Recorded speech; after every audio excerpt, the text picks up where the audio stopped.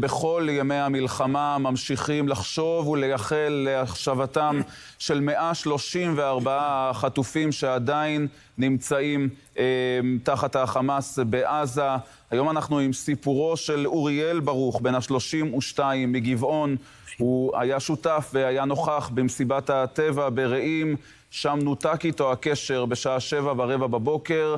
ימים ארוכים לא ידעה המשפחה מה עלה בגורלו עד שהגיעה הבשורה שהוא חטוף בעזה, ואיתנו כאן באולפן דן אנטבי, חמיב של אוריאל. שלום לך. שלום לכולם.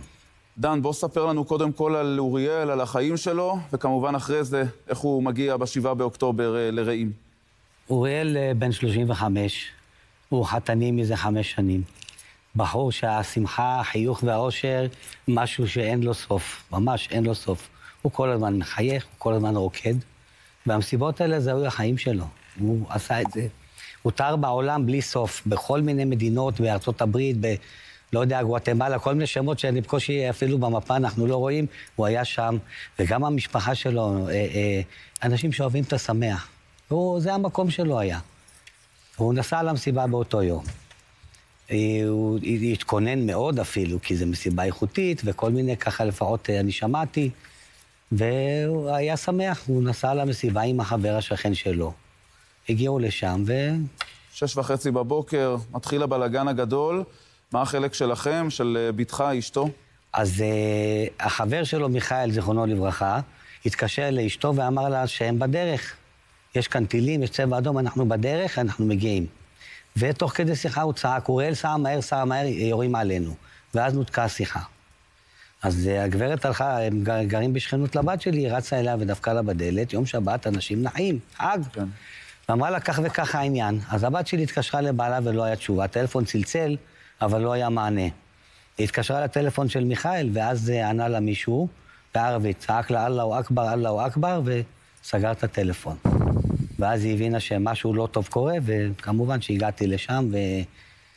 כן, אה, לוקח הרבה זמן עד שבעצם אתם מבינים אה, של, שאוריאל חטוף אה, בעזה. איך מגיע המידע הזה בעצם? אז אחד, קודם כל באותה שבת חיכינו והיינו בתקווה שהם בדרך, אולי מתווה, אנחנו אומרים, התחברו על העצים, התחברו בתעלות, אי אפשר לדעת. כן. אף אחד לא תאר לעצמו מה באמת קורה שם. אבל uh, בשעה ארבע כבר הגיעה המשטרה, אמרו מי שיש לו שם בן אדם, הנעדר, נא להודיע למשטרה, נתנו עדות, באו שוטרים, וזה היה הפעם הראשונה שפגשנו מישהו ש...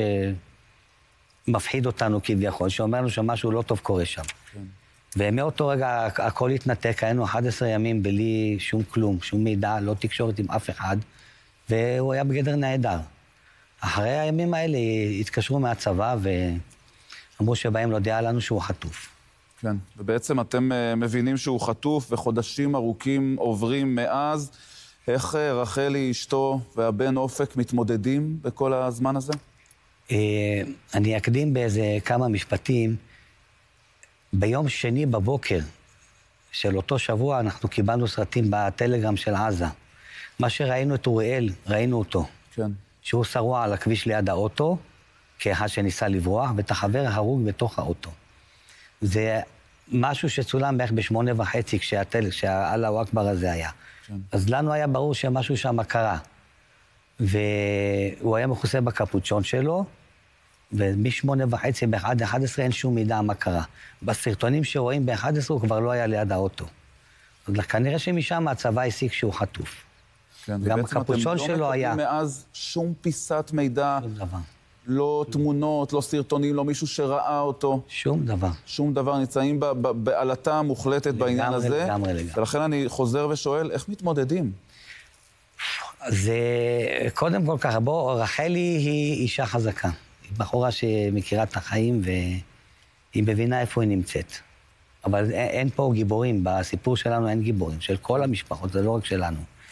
וכמובן שהיא מצפה והיא מטופלת בילד, ילד בן חמש, הוא ילד חכם והוא שואל שאלות. זה התחיל בימים הראשונים, שבאו אלינו עשרות אנשים. היא גרה בשכנות לאימא שלה, בחצר, אז פתחנו שם עמדת קפה, כי כבר לא יכולנו לכבד את האנשים. פתחנו עמדת קפה, עמדת כיבוד, כי אנשים נהרו עד חצות הלילה. והילד שאל, סבא, למה יש פה עמדת קפה? כי זה עבודה שלך. אני עובד בקטרינג. אמרתי לו, כן. עוד אי אפשר לתת לו שום מושג. כן. אחר כך הוא שאל, למה אתה ישן פה? אני לא ישן אצל הילדים שלי, אני גר קרוב, הולך הביתה. בגלל מה שרואים בטלוויזיה? אמרנו לו כן. שואל גם על אבא? אה, כן. אז יש בהתחלה הוא... תשובות שאפשר לתת לילד בן חמש? בהתחלה הוא ככה, אה, מתי אבא יחזור, מתי יבוא זה, בסוף הוא הבין שאבא הלך לאיבוד, והמשטרה תמצא אותו ותחזיר אותו. זה מה שידע, הוא ידע להגיד. אחר כך אמרו לנו שהבת שלי, רחלי, אמרו שהיא צריכה להגיד לו משהו יותר קרוב לאמת. אז היא הסבירה לו שאבא חטוף, הוא נמצא אצל אנשים לא טובים, וזה מה שהוא יודע. כן. אבל הוא לא אומר את המילה חטוף. הוא לא אם אומר. שואלים אותו, אופק, איפה אבא? הוא אומר, אתם יודעים איפה הוא. וואו. גם נושא מאוד חשוב, הסיפור הזה של הילדים שחווים את כל האירועים הללו ברבדים שונים, במקומות שונים.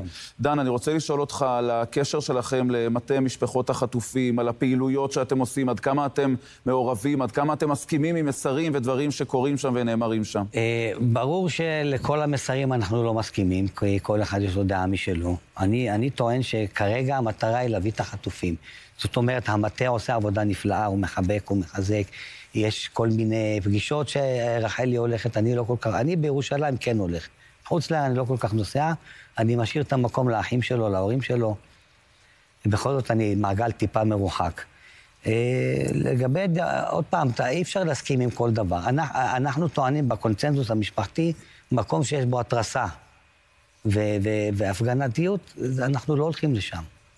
עד כמה יש קשר לרחלי עם אה, ראשי הדרג המדיני, נפגשת איתם, משמיעה ושומעת גם מהם? כן, היא נפגשה בכנסת כמה פעמים, אם היה ראש ממשלה בתל אביב, עם, עם שרים, שר הביטחון היה שם, אבל בסוף זה הכל אותו דבר. יש דברים שאתה חושב שנעשים כמחאות וכהפגנות שפוגעות ביכולת להשיב חטופים? תראה, בגלל שאנחנו נמצאים בתוך הקלחת הזאת, זה קשה להגיד שזה, ש, שזה מזיק. זה משהו שבא מתוך, אני, אי אפשר למנוע את האמירות ואת ההתנהלות, אי אפשר למנוע מהאנשים. אבל uh, עוד פעם, אני במקום מסוים כן אומר שההפגנות האלה, קודם כל בתוך זה שאנחנו פוג, שאנחנו פוגעים באנשים, סוגרים כבישים וכאלה, אנחנו מאבדים את התמיכה. ויש לנו תמיכה, היא, היא מדהימה. מה, מהעם שהוא אה, הגדיל לעשות, מהיהודים בתפוצות, וזכינו לביקורים של אנשים הכי מיוחדים שאני מכיר. לפני שבועיים הרב של רוסיה הגיע אלינו הביתה, הרב של מוסקבה והאוליגר שמימן את הנסיעות הברית לתפילות שם, אצל רבי מולבד, שהם בעצמם נחתו אצלנו בבית להגיד לנו, אנחנו משפחה, לא חברים ולא מכרים, אנחנו משפחה ואתם לא תהיו לבד. בהחלט זה החיבוק הזה של העם היהודי כולו בעצם במצב הלא פשוט הזה. אה, דן, כמה מילים שלך. אם אוריאל היה יכול לשמוע אותך, חתנך האהוב, מה היית אומר לו? אומר לו, אוריאל, שאנחנו סומכים עליך, מכירים את היכולות שלך, הוא גם אה, קצת ליצן, אז הוא יודע לא לקחת דברים בקושי, הוא תמיד, אה, תמיד מקל אותם. ושתדע שאנחנו עושים הכל למענך, אנחנו נביא אותך בעזרת השם. כל המשפחה ביחד מאוחדים עם העם, ואתה תהיה פה בקרוב יחד עם כולם. בעזרת השם, דן, תוכל להרים רק את התמונה אל מול המצלמה, שעם ישראל כולו יוכל לראות את הפנים האלה. אחד מאחור. מתוך 134 שחטופים נמצאים בשבי החמאס, וכולנו מייחלים כמה שיותר מהר לחזרתם. אוריאל ברוך, בן ה-35, לגמרי. תושב גבעון. דן אנטבי, אני רציתי רק, ברשותך, להוסיף עוד. משהו, אה, ככה, להיכנס בין השורות. כן. הקושי שאנחנו נקראים מעגל שלישי אולי, יש את הבת שהבעל שלה חטוף, יש את ההורים שזה הבן שלהם, האחים שזה אח שלהם, אנחנו חמי, אני חמי ואשתי היא- כן. היא חמותו וכן הלאה. ואנחנו מרגישים לבד. ואני שאלתי, כאילו, רבותיי, יש שרים, יש אה, לשכות ויש אה, מנכ"לים וכל מיני, איפה אתם אנשים? איפה אתם אנשים? אף אחד לא יכול להדליק אוטו פעם בחמישה חודשים האלה, לספוג בדלת ולהגיד, שלום, משפחת ברוך, משפחת אנטבי, אנחנו איתכם. אין דבר כזה? לא יכול להיות דבר כזה? אתה אומר, חשוב לחשוב גם על המעגלים בוודאי, הללו, חלקי גם על העם האנשים. התאחדו באופן מדהים שלא תיארנו לעצמנו אחרי השנה ההפכה. אבל, אבל איפה אתם נבחרי העם? אני רוצה לראות אתכם, חוץ מהתמונה של סוף בחירות שכולם יפה וחתיכים, בואו נצטלם תמונה שאתם כולכם ביחד וצורכים, אנחנו נביא לכם אותם. ממש כך. אני מייחל. קריאה גדולה לנבחרי העם, תרדו אל משפחות נכון, החטופים, תרדו אל משפחות אותם. העם, לא קרה שום דבר. פעם בחמישה חודשים היו בהם, זה הכל בסדר. אני ככה אמרתי שבתור אבא, מה שאנחנו עוברים לא ניתן לתיאור, אין בלקסיקון, אין מילים, אף אחד לא כתב תורה להתמודד עם זה. ממש. זה להמציא את היום ולעבור כל שעה בשעה. ממש כך. ו- דן, לא מצאתי מילים להגיד לבת שלי, כאילו, אני יודע מה היא עוברת. כן. אין מה לשאול אותה, רחלי, איך את מרגישה? אנחנו מרגישים מה היא עוברת. אז אני כתבתי לה שיר, הייתי רוצה להשמיע אותו. בבקשה, נשמח מאוד.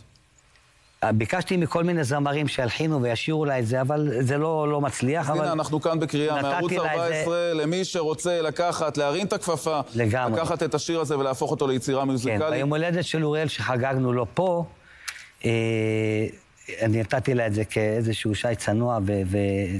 אגב, ארגונים וולונטריים מקיפים אותנו בהמוניהם. ממש. שי גראוכר, שהוא אחד מיחידי סגולה. משהו מדהים, ותודה מכאן לכל מי שמלווה, מי שמחבק, מי שנותן, מי ששואל. באמת, תודה לכם, עם ישראל, עם ישראל חי ולנצח. בוא נשמע כמה מילים מתוך השיר שכתב. אה, קראתי לשיר אהובי שלי. אני יושבת ופניי מביטות אל השער, מצפה לבואו של אהובי שעודנו נער. החיוך שעל פניו והלובן הניכר משיניו, טרם הספיק הכל ורצה המון בחייו. שובה אליי אהבת נעוריי הנשגבת. חיינו היו יפים, אנא פתח את הדלת. נרוץ לקראתך אני והילד בזרועות פתוחות, ונתעורר מזה הסיוט חלום בלהות. יצאת בחדווה לשמוח ולרקוד בנשף. ידעת אושר אין קץ וצחקת ללא הרף. ואני כאן יושבת בעיניים דומעות ובגעגוע, מבקשת מאלוקים שיחזיר לי אותך שלו ורגוע. ימים ארוכים של שמיים אפורים וקודרים, מרגישה כי אותי הם מלווים ומחבקים. אל תעצבי ילדה ושימי מבטחך באלוקים, כי יחזור אהובך במהרה לי אומרים. את פניי עוטפת ועיניי מכסה בשתי הכפות, הבכי המלוח מנסה להפוך לתקוות. אהבת נעוריי אתה בגופי ונשמתי, חלק מהשלם. מתפללת ומתחננת מחיי, אל תיעלם. וואו. עוצמתי ומרגש מאוד, ואנחנו כולנו מקווים מאוד שהכל יתקיים שם במהרה בימינו עם חזרתו של אוריאל. דן אנטבי. תודה. תודה רבה תודה לך שהיית תודה איתנו. לכם על הבמה.